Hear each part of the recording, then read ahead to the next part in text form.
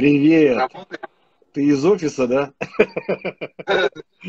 Из переговорки. Привет, привет. Во, супер, вообще отлично. Отлично. Ага. Как твои дела, дружище? Дела хорошо. Отлично. Работаешь э, на удаленке, получается, да? Ну, пять недель. Пять недель нас достаточно быстро отправили всех на удаленку. Угу. И никаких э, решений не испытываю. Достаточно удобно, быстро, комфортно. Ну, супер. Вот, уехал на дачу, и здесь уже пять недель. Я представлю, Эльдар, это человек, э, который... Главный человек по закупкам э, вина в пятерочке, правильно? Ну да, я просто хочу немного парадигму сразу сдвинуть. На текущий момент я работаю в пятерочке, до этого работал в сети, да, э, обучался вину и так далее. Больше хотелось бы смещения какие-то более вопросы экспертные, потому что все равно я про свою работу много рассказать не смогу. А, у нас есть определенные люди, которые рассказывают про а, нашу работу. А в целом пообщаться, поделиться мнением о рынке, о рынке, о трендах, шмендах и так далее, это можно. Ну, как раз на эту тему и хотел поговорить, потому что, ну, работа – это работа, ты все-таки у нас эксперт, ты член Союза сомелье экспертов России, мы тебе очень тепло и дружественно относимся, ты профессионал своего дела, и мы, в принципе, видим ту работу, которая за последнее время с твоей стороны в пятерочке. Еще очень много, конечно же, предстоит всего сделать. Но сегодня действительно мы с тобой будем говорить как с экспертом рынка, потому что а, ситуация, она очень неординарная. Вообще, если поговорить о, о том, что происходит сегодня вообще в целом по поводу вина, по поводу дальнейшего, как будет происходить, на твой взгляд, закупки, какие тренды, а, что будет э, с точки зрения а, вообще торговли вина. И очень много интересных мнений по поводу того, что все-таки сети потихоньку будут переходить в большей степени на свой импорт, а, будут сами завозить, сами напрямую заключать контракты. Насколько это соответствует тому, что я сейчас говорил? Это, это так, так делают все. Я думаю, что ну, от, от мала до велика. Тут не Но... секрет. Как бы это с, с учетом того, что с учетом того, что курс поменялся, у вас будут меняться цены, вы, соответственно, наверное, будете больше э, общаться с производителями ну, для того, чтобы... Артур, смотри, конечно же, я тебе опять тут ничего не скажу сейчас, это мои личные секреты и секреты моей работы. Конечно, курс, он накладывает определенный э, отпечаток, он накладывает отпечаток на, на всех игроков рынка, вот, mm-hmm. но вместе с тем э, каждый по-своему будет искать решение. Угу. Я думаю, что у нас все будет хорошо. Да, я даже не сомневаюсь. Э, профессионализм, как говорится, не пропьешь при любой ситуации. Поэтому мне бы очень интересно было бы твое мнение по поводу... Ну, понятно, что мы говорим сейчас не о твоей работе, а мы говорим о в целом. Твое э, видение, э, какие тренды будут, может быть, что касается российского виноделия, больше будет появляться, и насколько это вообще интересно потребителю? Ну, российское, российское виноделие всегда, всегда интересно. Оно развивается, развивается не первый десяток лет. А, я, ну, как бы отслеживаю из года в год, э, как меняется российское виноделие. И э, я скажу так, э, то, что происходит сейчас, это хорошо. Хочется, чтобы происходило чуть быстрее, и хочется, чтобы это было больше и дешевле. Потому что конкуренция с точки зрения импортного вина, конечно, она колоссальная. Там экспертиза и качество, оно, конечно, на высоте, даже в низких сегментах. Mm-hmm. Но вместе с тем, не начнешь, ничего не получится. Поэтому мы обеими руками за, мы поддерживаем российские виноделие. Я лично очень сильно переживаю за э, российские винодельные. Я лично общался не с одним виноделом и могу сказать, что прогресс он есть. А когда есть прогресс, ну, в любом случае появляется все больше и больше хороших, питких, Э, фруктовых вин, а это то, что нужно нашему массовому покупателю. Это здорово. Вот. Хочется, знаете, как иногда я сравниваю наших э, э, вина э, с футболом, да, с э, легионерами. Вот у нас в футболе иногда возникает мысль такая, что давайте-ка запретим легионеров, чтобы наших э, футболистов поддержать. Э, то же самое иногда бывает э, вот идеи такие бывают в нашем правительстве и так далее, в отрасли, да, давайте-ка максимальное количество ограничений введем, чтобы поддержать наших э, виноделов, виноградарей и так далее. Ни в коем случае это делать нельзя, что футбол умрет, что э, виноделие наш без конкуренции опять скатится непонятно куда. Пусть воюет, пусть будет, нужны меры, нужны меры поддержки, и я думаю, что сейчас как бы мы на правильном пути, некоторые, конечно, моменты излишне агрессивны, и о новом законе о виноградарстве, то есть можно чуть-чуть его подпилить, и чтобы был более плавный переход. Ну а в целом, все, что у нас происходит, меня радует. Скажи, пожалуйста, а в целом вот э, за последнее время ты видишь, наблюдаешь, что российское вино больше э, продается и больше на него обращают внимание? Или это только когда дни российского вина происходят? Ну, во-первых, когда дни российского вина происходят, продается больше, опять же, почему? Потому что он становится доступнее. Ну, это, это не секрет. Э, э, я скажу так, сегодня купил три бутылки российского вина. Я не буду говорить где, я скажу почем. Они стоили 900, я купил по 500. Uh-huh. Вот. Э, ну, как бы, я считаю, что это более-менее максимально справедливая цена. Вот, поэтому э, будет хорошая цена, будет продаваться. Будет хорошее качество, будет продаваться. Будет хорошо э, храниться долго в бутылке, будет продаваться. А мы видим, э, какую конкуренцию дает нам прямой импорт и магазины-специалисты, э, то, конечно же, там конкуренция очень сильная. Ну, uh-huh со стороны импорта, определенно. Но не российских вин это очень хорошая история. Это подсвечивает очень хорошо на полке. Люди обращают внимание. Э, ну, главное качество. Будет хорошее качество в массе, в массе. Начиная от а самого ты... дешевого а ты как считаешь, э, ты как считаешь, э, вот стоимость бутылки 500 рублей, это такой самый продаваемый же на полке вино? Нет. Нет? Дорого. Да. А, ну, как мы же все ездим в Европу, да, ну, сейчас не ездим временно, а так как бы ездили, вот, и мы же прекрасно видим, почем там стоит вино. То есть, там, ну, люди приезжают и говорят, то я там за 5 евро купил себе отличную бутылку вина. Ну, угу. не берем сейчас рассмотрение, что сейчас там 80, да, ну, возьмем 70, курс там 350 рублей. Ну вот как бы справедливая цена на каждодневное вино. Там, если мы смотрим э, такие успехи в Америке, там в свое время выиграла концепцию two bucks wine или three bucks wine, да, ну, как бы, и это учитывая уровень дохода Америки, учитывая уровень дохода Европы, вот это масс-маркет, да, ну, конечно, дальше есть и более э, классные вина, там, и за 5, и за 10, и за 20 евро, но надо понимать, что рынок выигрывает э, позиции такие, к сожалению, к сожалению, не очень э, дорогие, но 500 рублей вполне себе может быть справедливая цена, у меня вот сосед выбирает вина очень просто. Пришел, купил все, что дороже 500, попробовал, что понравилось. То есть он вообще не смотрит, что дешевле 500. Ну, mm так, в целом, 350-500, наверное, это для нас где-то Слушай, но сейчас же с учетом э, изменения курса, ты же понимаешь, что это достаточно сложно. То есть те вина, которые раньше были, там стоили 300-400 рублей, они сейчас будут все равно дороже продаваться. Это же проблема определенная. Ну, мне хочется верить в то, что люди э, не будут экономить на вине. Хочется верить. Но вместе с тем есть опасения, что они просто перейдут. Знаешь, как в свое время были у нас э, такие именитые вина, как там, ну, именитые вина, назовем их так. Не хочу, чтобы потом сказали, вот он любит то, это, вот, э, которые плавно ушли за тысячу и продали и продажи которых э, разительно сократились, да, которые стоили там по 700 рублей, по 900 рублей, а сейчас стоят там по, по 2, да, uh-huh. ну и, конечно, их покупать меньше. То же самое, ну, будет постепенно, я думаю, происходить и в случае, если курс не откатится.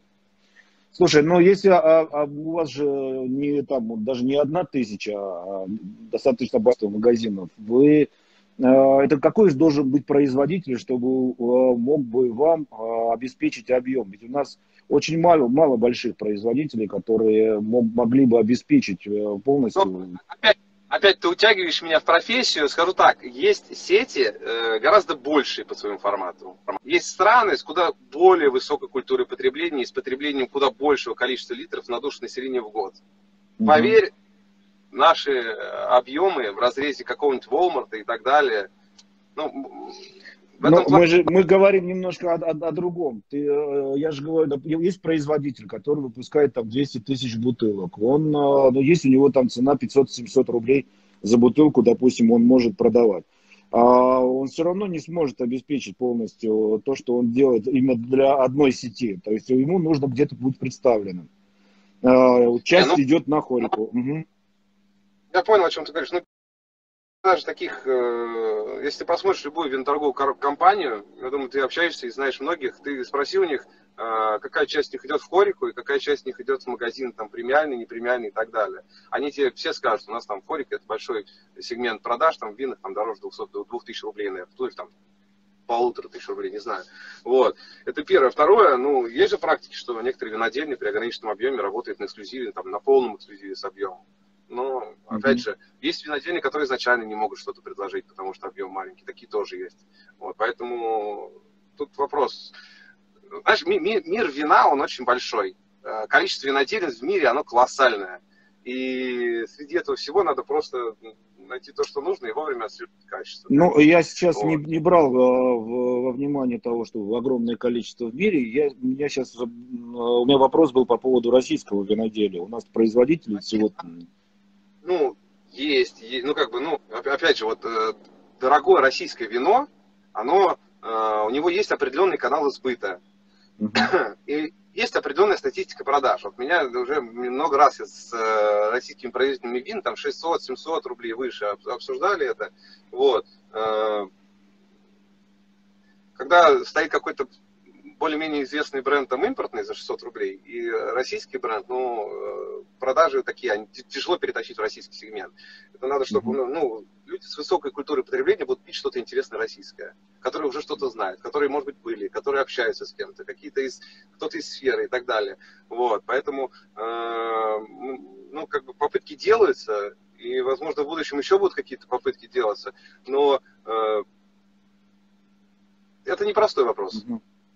Я понял тебя. Тут э, люди задают, задают вопросы, соответственно, я тебе буду их зачитывать. Не могу сказать за все регионы, но у нас почему-то мало представлено дорогих вин. Почему? Денис Валерьевич. А... Денис Валерьевич, отвечу. Э, пусть бы так, поправим в ближайшем будущем. Мы идем на определенный риск, поправим, посмотрим. Э, опять же, дорогие какие? Кому как дорогие? Важно же не дороговизна вина, важно, чтобы она да. Качественно. Вот. Конечно, конечно, конечно. У нас есть некоторые позиции в ассортименте, которые стоят у нас дешевле, чем э, в стране, ну, там, в европейских странах каких-то. И когда человек туда приезжает, там видит это вино, там у нас оно стоит 6 евро, 7 евро, там стоит 12. Mm-hmm. И он вот это вот видит, оценивает, ну, как бы... Попробуйте из того, что есть, там есть что попробовать. Ольга Вербш задает вопрос. Мы очень ждем расширения ассортимента в Питере. Будет ли у вас коллаборация с каким-нибудь брендом из Кубани? Оля, привет. Очень приятно слышать от тебя вопрос. А, Ольга, если кто не знает, это куратор а, винной академии школы и Санкт-Петербурге, Петербурге, где я учился, где я проходил обучение а, на ВСЭТ, сначала на второй, потом на третий. Э, так что, Оля, спасибо за вопрос. Э, первое, ну, будем осторожно расширять, что-то смотреть. Больше ничего не скажу. Э, с точки зрения коллабораций, ну, какие коллаборации могут быть? Мы стараемся всем уделять одинаковое количество внимания. Мы стараемся продавать то, что продается. Угу. Я, я вот еще раз скажу вот всем российским виноделам, посыл один, вот как эксперта, как потребителя, не как там закупщик и так далее. А по минимуму, там, как закупщику ко мне обращайтесь, я вам все равно ничего не расскажу. Э, если будет вино легкое, питкое, фруктовое и долго хранится в бутылке, долго это хотя бы год, если оно будет сохранять хотя бы год вот эти качества в сегменте недорогом, будет успех. У нас есть примеры интересных вин, которые продаются хорошо. Есть, есть примеры целых виноделин, которые делают вина ну, в большом количестве, а они там только полусладкие продаются. Но это же не просто так. Вот. Поэтому, как сказал мой преподаватель, один из, если в вине нету фруктов, то рассчитывать на его успех очень тяжело. Вот mm-hmm. российский покупатель он немалым, немногим отличается от э, европейского. Вот почему у нас все пьют полусладкое, да? Потому что сухое, доступное, как правило, невкусное. Будет у нас сухое, доступное, вкусное, будет питкое, будет легкое, будет фруктовое. И, пожалуйста, мы так конкретно никого выделять не будем, конечно же. Но если сейчас даже зайти э, в магазин, увидеть какие-то эксклюзивные проекты, ну, это как бы можно сказать так, что это коллаборация. Хорошо. Эльдар, привет. Почему при неплохом в ассортименте полки пятерочки полупустые? Во всех, где я был, точно. Это говорит Анзор. Анзор, э, привет, привет, Анзор. Если это тот Анзор, с которым играли в футбол в метро. Да. Анзор, привет. Это очень, он. очень, при- Мгм. очень, очень, очень приятно тебя слышать тоже. Анзор, э, есть вопросы с тем, что мо- мо- могут не успевать люди. Есть э, вопросы с тем, что перебои какие-то с текущей ситуации могут быть. Э, стараемся на 100% как можем. Понятно. Вот, то есть, как бы, плюс майские А. праздники, перед майскими праздниками, перед Новым годом всегда что-то там вымывается. А, Попов Сергей Вайн. а, На одну бутылку российского вина за 600 рублей приходится 10 бутылок хорошего импорта. Так ли думаешь? Э, Я скажу, как я вижу в целом по рынку. Мгм. Первое, если такая акция есть, то это похоже на правду. Это не просто так. Э, Любая, цель любой организации это заработать, ну, как бы, в ограниченных условиях определенное количество денег, да. И если на рынке сейчас такое есть, значит, рынок, наш потребитель диктует такие правила. Мгм. Поэтому за уши, за уши. Я, я противник того, чтобы тянуть что-то за уши. Потому что, когда хороший продукт появляется, э, ну, его, ну, его тянуть не надо. Поэтому, ну, раз так есть, так есть. Давайте дружно надеяться на то, что это вскоре изменится. И я буду только за. Может быть, вино хорошим дешевле 500 рублей, Денис Валерьевич пишет. Это э, вообще моя любимая. Э, я очень много экс- экспертных точек зрения относительно э, вино там до 500 не покупайте. Я скажу так, если вы не разбираетесь в винах, гораздо меньше риска ошибиться, если купите вино больше 500 рублей. А, ну, просто потому что, если оно дороже в закупке, наверное, э, оно должно быть, по идее, лучшим по качеству. Но не всегда. Но, э, конечно же, конечно же, дешевле 500 рублей полно, огромное количество хороших, качественных, вкусных вин. Однозначно. Не слушайте тех, кто говорят, что там до 500 все. Мгм. Спасибо. А, Солекс 87 пишет, в связи с нынешней ситуацией в мире ожидать ротацию вин на полке и новых поставщиков в сети? О, я уже больше, чем можно, наверное, сказал на эту тему сегодня. Ничего больше не скажу. Хорошо. 5 евро это совсем на каждый день, причем это день понедельник. Ну, это вот а, от- отметили так. Нет, ну, ну, ну, подожди, подождите. Опять же, вот не надо ценить э, по себе. Э, потому что мы это понимаем, да, что мы, приезжая за границу, наверное, мы и по 5 не покупаем, и по 7, и по 10, наверное, покупаем, и думаем, ну, ладно, промо возьму по промо, возьму по 10, да. Мы, мы другие, мы, мы э, уже э, как бы перепробовали, и просто мы уже, ну, как бы нам уже неинтересно там. Мы уже прошли тот этап, когда там пьем по 5, и не дошли еще снова Мгм. до да. Вот. А, но большинство людей, они выбирают именно из этого сегмента. А я, я скажу больше. Люди приезжают, говорят, о, а вот это я вот, слушай, я был в Испании, там по 3 евро, шикарное вино, 3 евро. Мгм. Ну, Ну, так. Там од- Валерий, 1 миллион 190 тысяч гектар виноградников в общей сложности. Нам до них еще очень-очень-очень далеко. Конечно, конечно, конечно, конечно. В этом-то и как бы поэтому надо поддерживать обязательно. А, Бутова Арина задает вопрос. а, Какие критерии нужно учитывать при выборе качественного вина? Я скажу так, если вы находитесь в обычном магазине, самый крутой комментарий, который я видел, и правильный комментарий, возможно, да, ну, это, это не из той статьи, где типа до 500 не берите, хотя может и стоит, это дату розлива. Вот смотрите Мгм. на дату розлива. Вот вы сомневаетесь, не знаете, если выбираете дешевое вино, смотрите на дату розлива. Если там не больше полугода, бутылка стоит на полке, можете брать. А еще лучше выбирайте э, максимально свежую дату, но не э, раньше, чем не младше, чем два месяца. То есть от двух месяцев до шести, наверное, так вино уже устаканилось в бутылке, но еще не состарилось. Это вот в дешевом сегменте. А в других, чем дороже, тем, тем проще. Там 3-5 лет может храниться. Мгм. Акцизы на винные напитки выросли в два раза, а производство их упало на 70%. Чем замените их и как рынок изменит? Немножко непонятный вопрос. Нет, ну и понятно, понятно. Винные напитки уйдут там с рынка и так далее. Чем за... Ну, не, тоже не скажу. Это такой прямой Хорошо, вопрос. хорошо. Есть ли у вас опыт, есть ли у вас опыт работы с узбекскими винами? Если да, то как вы считаете, это правильно выходить на рынок в малоизвестной стране с вином до 300 рублей на полке? Давайте этот вопрос тоже опустим. Э, не очень он интересный. Опыт есть. Угу. Но я считаю, ну ты говори, какой... Ты пробовал узбекские вина? Ну как, ну а что там, ну пробовал, да, я все пробовал, я пробовал тетрапаки, я, я, я э, весь ассортимент, который, где бы я ни работал, я всегда пробую, неважно, будет он, я, я э, вот в другой сети отвечал за крепкий алкоголь, пиво и так далее, все надо пробовать, пока, если не попробуешь, то и не поймешь, неважно, что, mm-hmm. будь то там вино, пиво или что. Поэтому, ну, узбекские вина, конечно, пробовал, считаю, что у нас в стране делают точно не хуже вот в этом сегменте, мне кажется, у нас полно сейчас с каждым годом все больше и больше предложений будет. С новым курсом все импортное, дешевое, там, не знаю, полусладкое, мне кажется, оно будет постепенно терять свои позиции, потому что у нас угу. ну, растет, растет наше ну, количество базового винного материала. Тебе как эксперту, какое выбрать вино в подарок человеку, которого сложно удивить? Ой-ой-ой, сложно удивить. Ну, в таких случаях иду абсолютно в какие-то нестандартные решения, если я не знаю, чем его удивить и так далее.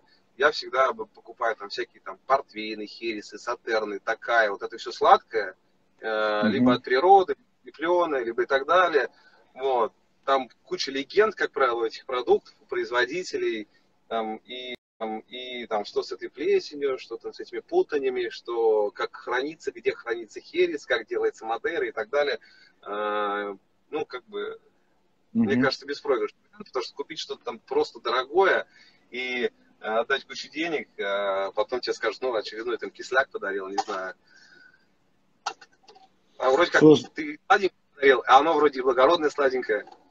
Ну да. А, спрашивают, что для вас шмурдяк? Для меня шмурдяк. Я исключаю это понятие, э, потому что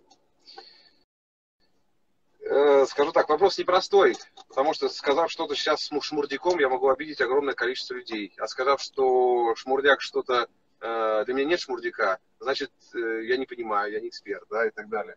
Вы знаете, для каждого клиента шмурдяк – это его личное понятие, и, как я только что сказал, для кого шмурдяком, кого шмурдяком может оказаться откровенно дорогое вино, которое он не понимает, сколько стоит. Надо просто контролировать качество даже самого базового элемента и смотреть, чтобы он соответствовал заявленному своим составу, да, что, mm-hmm. в принципе, сейчас повсеместно должно делаться, у нас там и контролирующие органы работают и так далее. А так, по большому счету, ну, кто-то любит курицу, кто-то свинину, кто-то баранину. Ну да. А чем, по вашему мнению, удивит потребителя винная полка? Какие тренды ожидать? Что думаете о синих винах вроде испанского гик? Опять же, ничего не скажу. А, вот это все баловство, вот эти э, для меня и, и вот э, что-то нестандартное, да, это хорошо, это инновации, пусть будут. Э, не верю, что это останется надолго. Mm-hmm. Ну, про тренды. Тренд, тренды все те же. В свое время я видел этот, публикацию в Инстаграме Евгения Богданова. И, ну, я так почему-то сейчас вспомнил про тренды, вспомнил про него. Э, в свое время это были там пинонуары, рислинги, а еже с ними, там, бургундеры и так далее. Легкие питки вина. Мне кажется, этот тренд, он, он, он надолго. Угу. А из великих вин, на ваш взгляд, что вы любите? Ну вот опять же, не буду говорить про великие вина. Э, вообще свои личные предпочтения раскрывать не буду, потому что те, с кем я общаюсь, знают мои предпочтения. Те, с кем я не общаюсь, по-разному их воспримут и так далее. Я повторюсь, э, нет, великий вин не будем обсуждать. Все Послушай, это, да, ну что, ты кого обидишь? Э, Лафита, Мутона или кого ты обидишь, если ты скажешь о том, что тебе нравится? А, ладно, отвечу в общем. Вот скажу так, для меня самый ну. крутой регион, крутой регион это Бордо. Вот кто бы, еще, кто бы еще что ни говорил, стагнирует Франция, там еще что-то. Я считаю, что в Бордо делаются самые крутые вина в мире. Все. Можно спорить с Бургундией, да, но Бургундия там она такая, ну, пинонуары все любят пинонуар. Ну вот я почему-то, у меня душа лежит в Бордо. Причем не к какому-то региону, а вот к нескольким. Там и белые шикарные вины, и вины и так далее. А, они не массовые. Ну вот пусть будет так. Там граф mm-hmm. регион, отличный регион. Там вот вообще, там в этом регионе можно найти любимое белое, любимое красное. И великих вин, мне кажется, там тоже хватает. Пусть будет вот так. Хорошо. А, Эльдар, добрый день. Как вы относитесь к автохтонных сортов винограда? О, это обеими руками за. Я считаю, что автохтоны это наше все. Я считаю, что нет смысла пыжиться и делать очередной пинонуар по-крымски или пинонуар по-краснодарски, хотя у некоторых это получается. А, проще найти то, что у нас в свое время э, в Советском Союзе Э, если я не ошибаюсь, исследовалось, гибриды выводились, смотрели, какие лучше, какие хуже приживаются. И вот пусть вот то, что выведено, пусть то, что было, пусть вот с этим мы и будем жить. Мне кажется, это не просто так. Я, я только за автохтоны. Ну, ты как считаешь, если говорить о российском виноделии, то вот с точки зрения автохтон и автохтонных, э, они же, по сути дела, это же не конкуренция получается на полке. И э, если можно найти такие недорогие, качественные автохтонные вина для того, чтобы поставить в ассортимент, мне кажется, это наиболее такой оптимальный вариант для того, чтобы представить, хотя бы не говорить об очередном Каберне Савиньоне или Мерло, а что-то такое уникальное. То есть, в принципе, я думаю, что ты с этим согласен. Ну, баланс, да, конечно, согласен, но баланс такой должен быть. Если там просто поставить э, там, виолику, да, там, или цемлянский черный, или там цитрон Магарача и так далее, это может немного испугать. Лучше, когда они вот э, в купашах какой-нибудь замешать, сделать с международным сортом, я говорю про массового потребителя, и вот поставить на полку там. Каберне Савиньон Красностоп, Собирами mm-hmm. Кефеси. Вот. Отличное введение в, в, в, в автохтонное российского потребителя. Опять же, слово автохтон, я не знаю, многие по-разному могут воспринимать. Я думаю, мало кто вообще про него знает, если брать там основных покупателей ну, большинство рынка. Но оно с каждым годом все популярнее и популярнее. А так, Денис Валерьевич пишет, вопрос к Артуру. Сможем ли мы когда-нибудь увидеть наши вина с сертификацией по типу Европы, апеллясьоны? Возможно, это поднимет доверие к нашим винам. Вопрос. А, а, ну, давай ты скажи свое мнение. Не, ну как э, по типу апелласьонов, ну как у нас же есть за НМП, это как раз апелласьон есть, да, э... Денис Валерьевич, у нас э, есть уже ЗГУ и так далее. Понятно, что понятно, что есть над чем работать. Это не очень не быстрый, скажем так, процесс. Вот, а, уже есть, и в принципе, если вы видите на вине, а, на бутылке вина зону географического указания, либо еще лучше в ЗНМП, то однозначно это, это очень хорошо, потому что все вина за делами ЗГУ будут, э, ну, как бы, столовые, столовые вина. Не более того. Вот вин, винами России еще. Можно еще вино России тоже неплохо. На, на, на этом mm. уровне, на текущем. Пусть ну, хотя да, бы делают со... столовые и российского виноматериала. С Алтайского края привезти виноград, и будет вино России.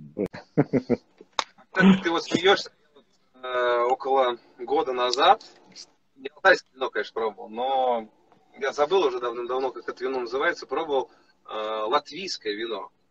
Называется оно там... Какое? Э, Латвийск, там, под Юрмалой. Реально, реально. Там вот э, погода, которая позволяет вырастить виноград в этих широтах, она бывает крайне редко. То есть там они э, делают вино раз там в 3-5 лет.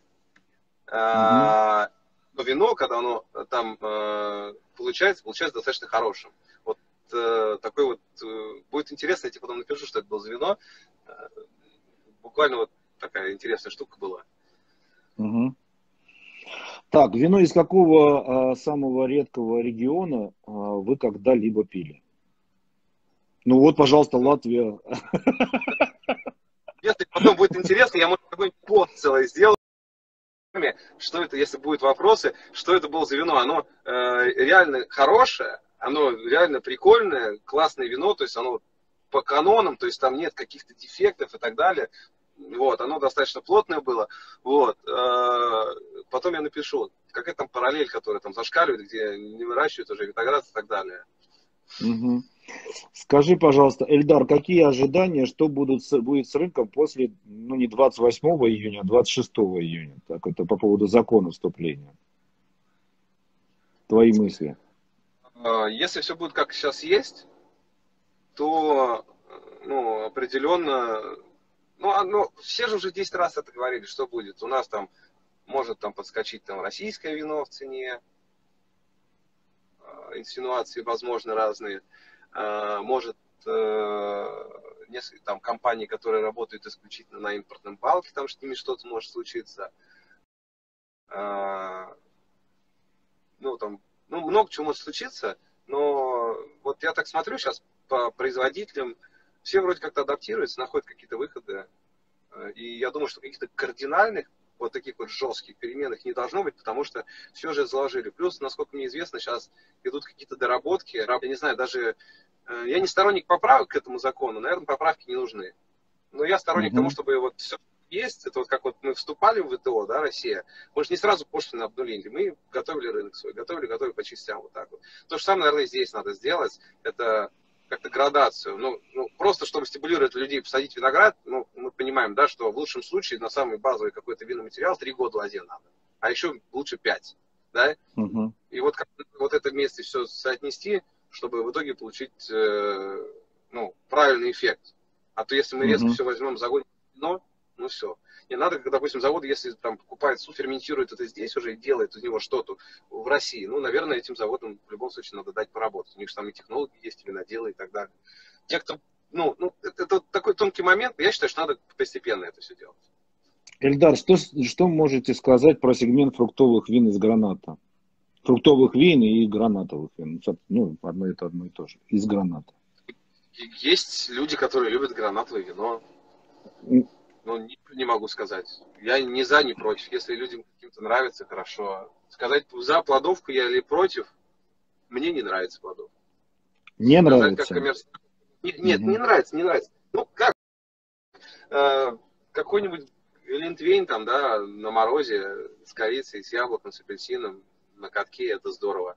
А так говорить, ну, мне не нравится. С Ангрией не, не, не проникался никогда. Благодаря вашим эфирам у меня идеальное алиби. Я теперь не просто люблю и пью вино, я изучаю. Спасибо большое, Рина. А, Ольга Вербш задает вопрос еще. На Кубани какая винодельня, по вашему мнению, обязательно к посещению? Пора открывать для себя наших производителей. Это я о себе посоветую. Куда ехать? Спасибо. Оля, напиши мне, а, Ольга, напиши мне, я тебе посоветую. Здесь совета не Давай так, а, я посоветую. А, у нас есть туристические, у нас есть туристические и есть а, ну, закрытые, потому что туризмом как бы они пока еще не, к туризму не готовы. Но у нас есть очень много интересных виноделин, которые можно увидеть. Это однозначно имение Сикоры это однозначно Гайкадзор, а, это однозначно а, усадьба Мысхака, вернее Мысхака и а, Шато Пино. На самом деле их много, таких в последнее время все больше и больше. Если в Крыму, то это золотая балка однозначно приехать, либо с маленьким производителем договориться, типа нашего любимого Олега Эпина, с которым, которому можно приехать, и мало того, что этот человек еще и сам готовит, это безумно интересно. Поэтому много интересных мест, читайте гид, там очень много интересного написано. А, Узунова Юлия, Юлия пишет, вы считаете, что вы считаете, что вы в некоторой степени влияете на вкус потребителя? Ну, э, когда э, и вот я скажу так, если я, я нет, я настолько вот э, максимально стараюсь держаться в тени, вот вообще всего, что я стараюсь ни на что не влиять, никому ничего не рекомендовать. И вот я жутко извиняюсь сегодня за то, что я на многие вопросы весьма уклончиво отвечаю. Если говорить в разрезе того нашего предложения, то я, я скажу так, если кто-то считает, что у нас какая-то покупательская потребность не закрыта, только не говорим про великие вины и так далее, да, а, то я всегда готов на диалог вообще с любым человеком, который меня знает, э, который может, может мне написать, может э, написать на сайте, позвонить и так далее. То есть это всегда, да. Наоборот, стараемся максимально широко, чтобы захватить всех. опять же, для чего это делается? Чтобы как раз вот не было инсинуации, что вот вы влияете на потребительское поведение, да, покупательское предпочтение и так далее. Нет, промо одинаково. Вот есть люди полусладкое, есть люди сухое, получите вы, и вы. Низкая цена регулярная, под, пожалуйста, есть вы, есть вы, все. Если кто, ну, стараемся, наоборот, никого не обидеть. Зачем? Угу. Поэтому и, и рынок сам, он как раз и формирует, в том числе рынок формирует э, предложение. А Talk About Wine пишет, Левкадию забыли. Да, абсолютно согласен. Левкадий очень-очень круто. Замечательный ресторан. Место потрясающее. Люди очень-очень достойные. Поэтому однозначно и Левкадию тоже. А как переключить человека, который потребляет низкий ценовой сегмент, полусладкое, переключить на тоже сухое, но качественнее? Найти, найти сухое качественное. Это потому что если это низкий сегмент полусладкое, человек первое, либо ему не хватает денег на то, чтобы покупать дорогое полусладкое, а, второе, либо он уже, как бы, на мой взгляд, отчаялся, ну и как, ну, пьет что-то с сахарком и все. Сахар дефект скрадывает, что называется. Mm-hmm. Найти на полке хорошее сухое вино, которое будет уже ну, достаточно свежей даты розлива, попытаться объяснить, э, что и как и почему, э, желательно в теплую погоду. Вот. И просто рассказать. То есть, ну, по, по примеру скажу, что когда в определенный сегмент пускается то или иное импортный рынок, тому наш пример, мы видим, что наш клиент любит сухие вина. Просто он любит качественные сухие вина, ну, как и везде. А mm-hmm. если мы будем в него что-то уже давным-давно существующее на рынке сухое, которое почему-то должно продаваться или почему-то там э, имеет определенную представленность, ну, ну, ну попробуй скажешь, ну да. Знаете, как король-то голый, да, вроде бренд тот же самый, пью обычно у него полусладкое, тут купил сухое и немножко расстроился, ну пойду опять полусладкое. А что вы скажете о винах Румынии, которые широко представлены в Европе, но в одной из самых крупных сетей России не представлены? Скажу так, в каждой стране, будь то Румыния, даже Чехия там, и так далее, есть э, хорошие вина, они есть. Э, в Греции, допустим, э, какой интересный, да, какие вина есть. А, опять же, вот спрос, спрос, да, вот наше, наше общество, наши покупатели, они определяют в том числе предложение. Если бы, если мы заходим в гипермаркет с огромной полкой, с огромной полкой, наверное, да, там для широты выбора можно поставить, э, не знаю, там в городах с большой численностью румынские вина. А кто скажет хорватские. Вот съездил в хорватские на полке, там греческие, венгерские вина и так далее. А, но когда ты живешь в ограниченном пространстве, конечно же, там да, это Посмотри. всегда. С одной стороны, кажется, что кажется, что легко взять, э, поставить, э, а на самом деле тут же вопрос очень много технических моментов, когда ты просто физически не можешь это сделать. И, из, именно из-за пространства, из-за полок э, и так далее. То есть, а потом э, все-таки все настроены на заработок, а не на просто как бы выставку делать. Ну, конечно, конечно. Да мало того, что это выставка, выставка, выставка, да эти вина же они постареют. И когда это выставка, даже когда ты решишь распродать, пить-то нечего будет в этих бутылках сдохнет все. Крюкова Дина, э, Крюкова Дина пишет, неужели обсны и лыхны по цене 400 и больше рублей это максимум продаж для пятерочки? Ну, я не совсем понимаю, что такое максимум. Угу. А, а, это, это, это, первое. Второе, э, вот еще раз, не будем сейчас обсуждать лыхны, обсны. Я скажу так, во-первых, наш э, винный помонт, он очень, э, достаточно много снобизма в нем, да, я вот так скажу. А, можно долго обсуждать, но мы очень можем все грамотно э, завалить, да, вот так вот. А причину понять, почему и как это происходит, люди уже как бы отказываются. Или, или не хотят, или не хотят видеть, не хотят разбираться, да, вот, как наши вот. Э, поэтому мы вот эту тему за скобки выведем. Вы просто задумайтесь, почему человек, покупатель, тот или иной покупает то или иное вино. Угу. Я с точки зрения качества, качества того же самого лохны, обсны, я, я считаю, что они Э, делает вполне себе нормальный продукт. Э, вот сейчас вот шквал людей можете меня наброситься. Вот я скажу так, вот Изабелла в России любит. Ну, любит Изабелла в России. Сделайте хорошее сухое вино, качественное, которое перебьет. Пожалуйста, это будет, это как-то культуры потребления. Но за неимением и за количеством закосов под это все дело мы сами культивируем это все. Вот, поэтому пьют он же у нас кинсмараули полусладкий, огромными количествами пьют, правильно? А лазанские долины тоже пьют. Ну, как бы, mm-hmm. вот задавайте вопрос тогда, ну, почему там лазанка, почему кинсмараули и так далее. Да, это как бы, ну, не совсем корректно ставить там Изабеллу Сапирави там на один уровень и так далее. Но, блин, ну Изабеллу, ну пьют у нас такие Изабеллу. Вот исторически ее пьют. И что ты с этим поделаешь?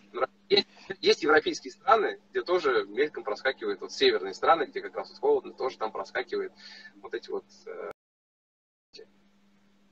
А, Бутова Арина спрашивает, э, что думаете, предпочтение к полусладкому и сладкому говорит об отсутствии вкуса? Это как зеленый чай с сахаром, по крайней мере для меня. Сахар только портит вкус истинного напитка. Будь то вино, будь то чай. Ну, по поводу сахара зеленого вложусь на 100%.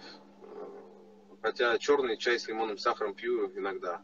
А, скажу так, э, первое, первое, э, мне кажется, все-таки вот если мы посмотрим на географию, вот, мы вот если будем смещаться к северу, количество стран с большой долей, с большей долей потребления полусладкого, они такие все северные, да, ну холодно, да, холодно, да, и так далее. Второе, э, культура вот, чтобы была культура, надо, чтобы про нее, чтобы, чтобы был продукт, чтобы культура состоялась, да, а если у нас э, на продукте низкого качества выросла какая-то отличная культура, ну, не получится, вот, поэтому mm-hmm. сейчас возникает продукт, э, ну, большими темпами, да, сухие вина, сухое вино там России, доступно и на этом будет расти культура. Мы же видим, все равно там, ну, там сухие вина, они доля постепенно, постепенно, там, ну, медленными темпами, но растет. То же самое и здесь. Но тяжело быть очень культурным человеком, когда ты ни разу не смотрел на произведение искусства. Поэтому здесь, ну, сделайте предложение, сделайте доступным хорошие, качественные, опять же, сухие вина, и все. Угу. В какую вот, страну вы бы поехали в винный тур прямо сейчас, если была бы такая возможность?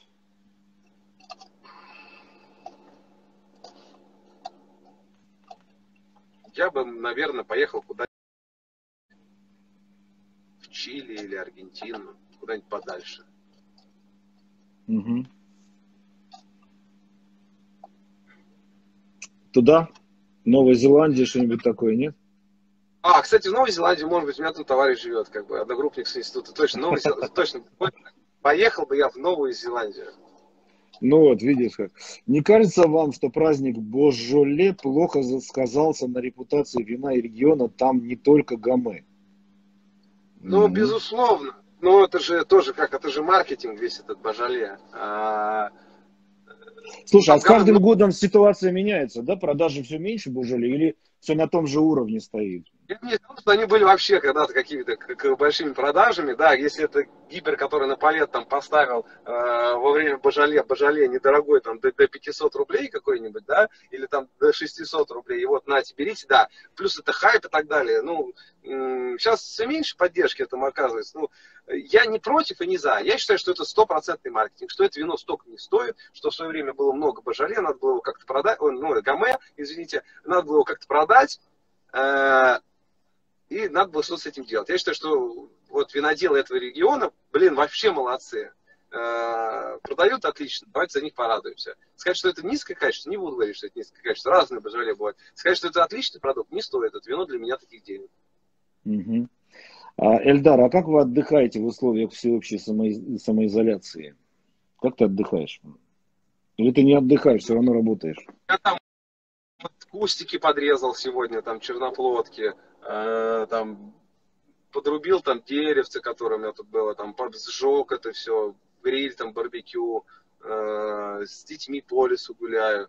Э, ну, там. Слушай, слушай, ну согласись, что если бы, вот у меня иногда такое, я вот сижу, обдумываю, а иногда у меня такое впечатление, что многие еще будут в хорошем смысле вспоминать эту изоляцию, потому что долгое время никто не мог а, с детьми нормально пообщаться, посидеть там и так далее, все время в работе. Я скажу так, я понял э, отчасти, почему у меня частенько так устает жена.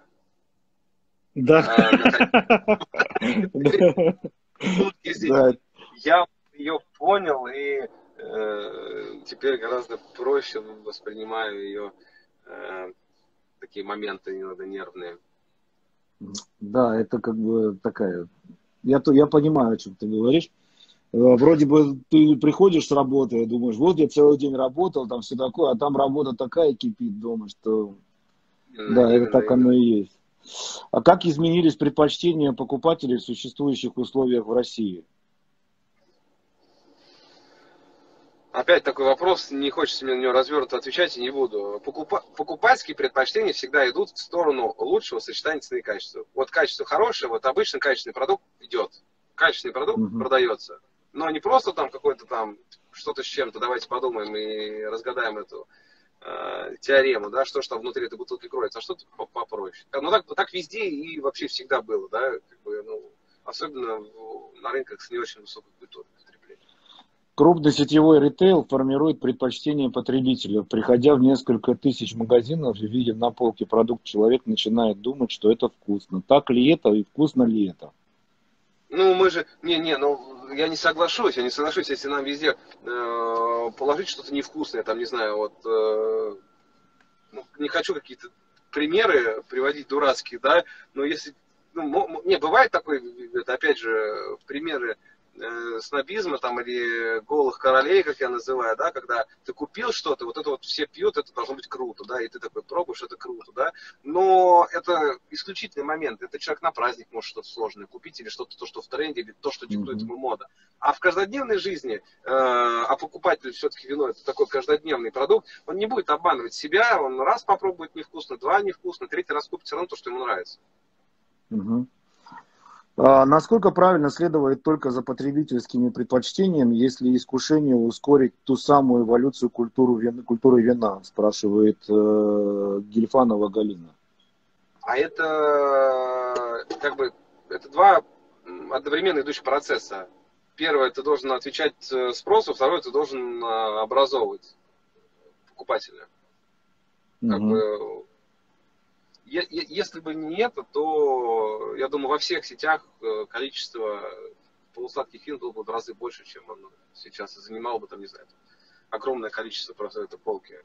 Поэтому, ну, плюс, э, не, ну, конечно, двиг, двиг, двигаешь тоже культуру в том числе, предложение делаешь. Ну, повторюсь, опять же, э, на хороший продукт, по хорошей цене отклик есть.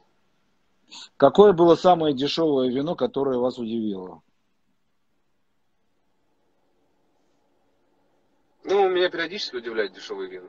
Если вино дешевое и свежее, на каждый день Угу. Ну, пробовал ну, в принципе, вин, ты уже, ты уже сказал о том, что недорогое вино, самый главный момент это свежесть, фруктовость, а, чтобы оно было бы живое, да, и а, оно, соответственно, а, на полке не лежало бы достаточно долго. Потому что с учетом того, что мы занимаемся закупками для Роскачества на дегустационный конкурс, мы очень часто обращаем именно внимание на то, что на дату розлива, которая э, э, есть э, на полке вот вина. Иногда бывает дата розлива при, примерно разнится там целый год можно найти на одной полке. Это вот одна из проблем, когда вина, одно вино вроде бы взял одна и та же марка, ты не посмотрел на дату розлива, она мертвая, а бутылка которая, соответственно, со свежим розливом, она наиболее интересна.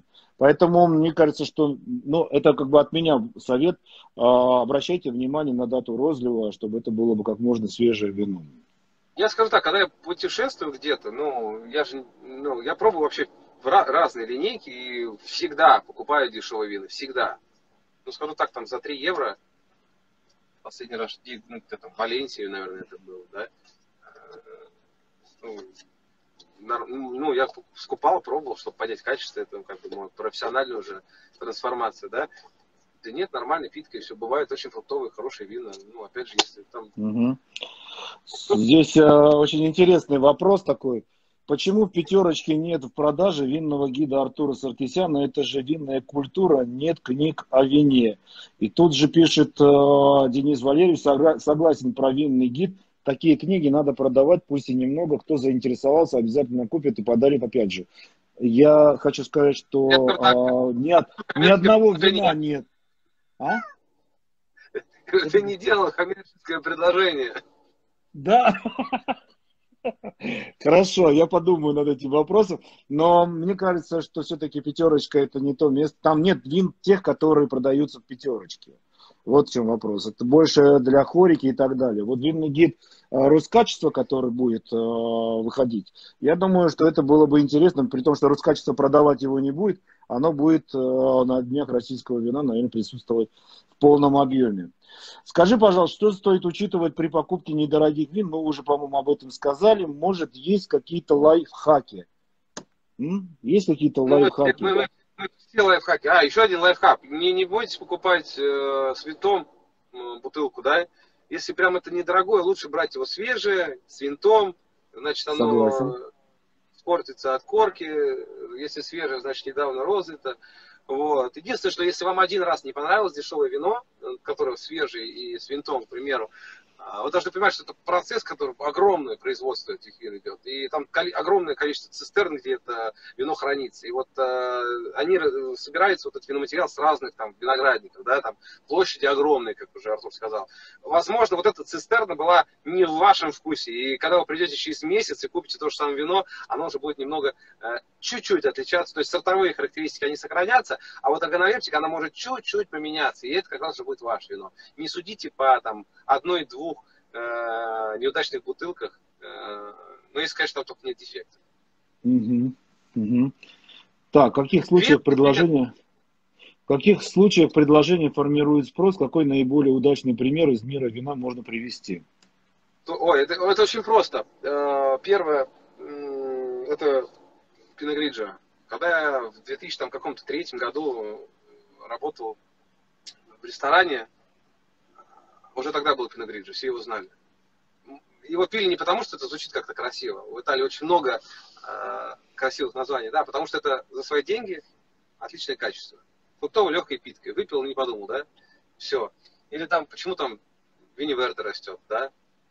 Ну, просто потому, что оно понятное, простое, легкое и так далее. Поэтому, конечно, э, надо быть проактивным и взвесив органолептику предложить покупателю что-то новое, что-то интересное, э, возможно, пойти по стопам э, успешных э, опытов там, европейских сетей там, или еще каких-то. Конечно, конечно, если быть полностью закрытым, ничего нового не предлагает, такого тоже не бывает. Надо это так и навстречу друг другу два mm-hmm. процесса идут. Скажи, пожалуйста, такую вещь. Ты учился, ну, насколько я знаю, у тебя опыт уже 10 лет, ты занимаешься вином, э, работал в разных сетях. Вот опыт, Нет, э, который у тебя... А? Поправлю, поправлю. Вином где-то около, наверное, 5-6. А угу. В ритейле, наверное, вот лет 10, наверное, может даже чуть больше. А ты когда работал в сети, да, у тебя было такое ну, как бы, взаимоотношение с, с Молдерсом. А насколько это было оправдано, то, что ты вот то, что сеть этим занималась, и насколько это интересно вообще для большинства, большинства своем? Ну, сам, самый большой плюс это то, что человек не ангажирован, он как бы делает дегустацию говорит все, что он думает. Потому что ты как бы коммерсант, у тебя там руководство коммерсанта, они могут по-разному смотреть, у них там парадигма своя в голове, своя в голове. А когда ты используешь любой, будь то смулдер, будь то еще кто-то, если это какой-то человек третий, сторонний, который не является членом компании, ему как бы нет сдвига парадигмы, что ты должен там работать прибыль, там, выручка и так далее, а он просто дегустирует продукт, плюс он живет этим продуктом, плюс этот продукт для него простой, как дважды два, это всегда хорошо. Угу. А Юлия Узунова пишет, редко беру вина в пятерочке. Сегодня специально взяла в честь праздника Савиньона. Э, Савиньон Чили 2019 года 300, 300 рублей. Фрукты, свежесть, все как надо. Спасибо. Видишь, как хорошо. А, как ты думаешь, а, чей, чей вопрос наиболее был интересен на сегодня? Ну, мне, мне всегда нравится вопрос, это как человека с, с полусладкого на сухое Ага. Вот это, вот да, это, вот это Рина, э, Рина Бутова, да. Огромное спасибо, что с нами вместе. Эльдар, есть что-то такое, что ты хочешь сказать? У нас осталось совсем очень мало времени. Я что хочу сказать? Хочу сказать спасибо э, тебе, Артур, за возможность высказаться. Я хочу извиниться, если я на какие-то вопросы не дал ответа. Я это делал намеренно. Ничего страшного. Никого... Это все понятно. Это все понятно. Кстати, Анзор а. писал, Анзор писал э, о том, что какие воспоминания у вас по работе в метро. Предлагаю после карантина сыграть в футбол X5 метра без легионеров. Ну, это уже вы как бы там решите, Анзор, всегда у нас очень активные. Угу. Скажем, вот, и это здорово, что, ну, как бы, мне понравился вопрос. Вопрос хороший. Немного было вопросов, которые чисто специфику бизнеса уходили. Есть люди, ну, вопрос, который волнует людей, это хорошо. Вот, поэтому я хочу так, приходите, пробуйте, дегустируйте, жалуйтесь, жалуйтесь, прям по максимуму жалуйтесь, это неоценимый опыт. А, ну и пишите тоже хорошие вещи, это тоже важно. Больше обратной связи.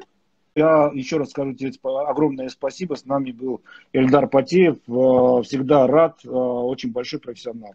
Спасибо тебе большое, дорогой, на связи. До свидания. До свидания. Всем пока.